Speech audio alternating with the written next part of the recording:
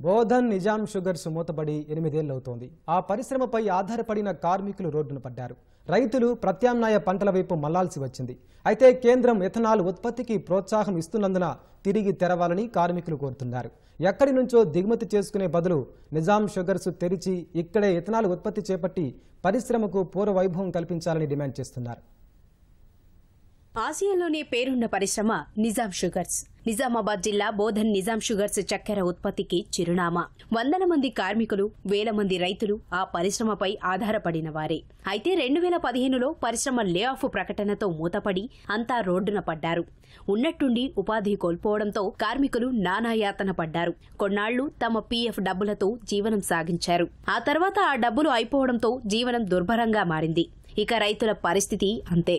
ప్రకృతి వైపరీత్యాలను తట్టుకొని మంచి లాభాలు పంచిన చక్కెర పరిశ్రమ మూతపడటంతో రైతులకు నష్టాలే ఎదురయ్యాయి. సంప్రదాయ పంటల వైపు మళ్ళడంతో పంట చేతికి వచ్చే వరకు నమ్మకం లేని పరిస్థితి నెలకొంది.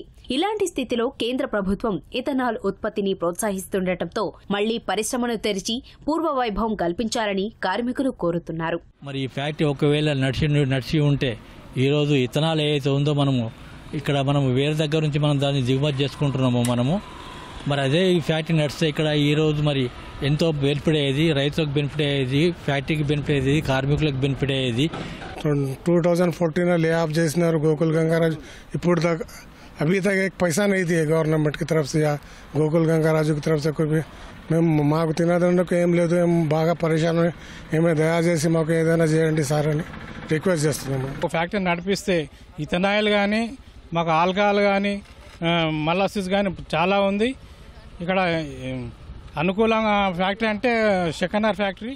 కేంద్ర ప్రభుత్వం రెండు వేల ఇరవై ఐదు కల్లా పెట్రోల్లో ఇథనాల్ని ఇరవై శాతం కలపాలని లక్ష్యంగా పెట్టుకుంది. ఇందులో భాగంగా ఇథనాల్ ఉత్పత్తిని ప్రోత్సహిస్తోంది. అందుకే షుగర్ పరిశ్రమలు ఇతర వ్యవసాయ ఆధారిత ఉత్పత్తుల పరిశ్రమల్లో ఉత్పత్తి అయ్యే ఇథనాల్కి డిమాండ్ ఉంది. డిమాండ్కు సరిపడా ఇథనాల్ లేకపోవడం వల్ల ఇతర ప్రాంతాల నుంచి దిగుమతి చేసుకోవాల్సి వస్తోంది. అందుకు బదులు బోధన్ షుగర్ పరిశ్రమను తెరిచి ఇథనాల్ ఉత్పత్తిని ప్రారంభించాలని కార్మికులు కోరుతున్నారు. పరిశ్రమలో ఇప్పటికే థర్టీ కే ఎల్పీడీ సామర్థ్యం కలిగిన డిస్టిలరీ యూనిట్ ఉందని దాన్ని ఉపయోగించుకుని ఇథనాల్ ఉత్పత్తి చేపట్టాలని సూచిస్తున్నారు. ఇథనాల్ ఉత్పత్తి ప్రారంభిస్తే అక్కడ చెరుకు ఉత్పత్తి అధికంగా ఉంటుందని చెబుతున్నారు. తద్వారా ఆ ప్రాంతం మళ్ళీ పూర్వవైభవం సంతరించుకుంటుందని ఆశిస్తున్నారు.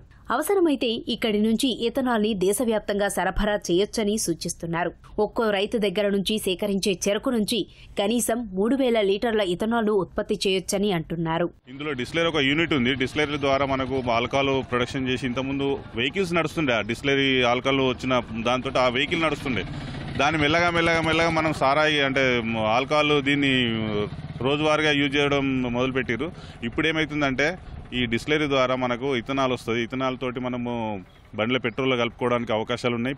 ఈ యొక్క నిజాం షుగర్స్ టక్కర్ షుగర్ ఫ్యాక్టరీని ఓపెన్ చేసి వారి యొక్క విత్తన ఉత్పత్తిని పెంచి మరి అందరిలో మాకు కూడా అందరికీ ఉపాధి కల్పించాలని మేము కోరుకుంటున్నాము. తన డిస్టిలరీ ఉంది థర్టీ కేఎల్పిడి కెపాసిటీ ఉంది మా దగ్గర. ఈ అంటే మొలాసిస్ ద్వారా మనకు ఆల్కహాల్ తయారవుతుంది. ఇప్పుడు ఇథనాల్ కూడా తయారు చేయవచ్చు దీన్ని. దీని ద్వారా బై ప్రొడక్ట్స్ మన బయోగ్రీన్ చేయొచ్చు ఇథనాల్ తయారు చేయొచ్చు. ఈ షుగర్ తయారు చేయొచ్చు. దీని కాబట్టి దీని మాకు పవర్ ప్లాంట్ కూడా ఉంది.